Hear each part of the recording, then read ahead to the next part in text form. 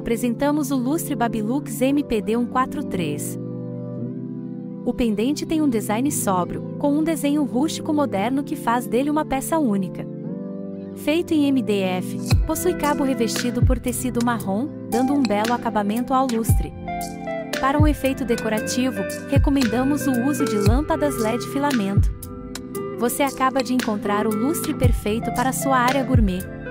Adquira já o seu!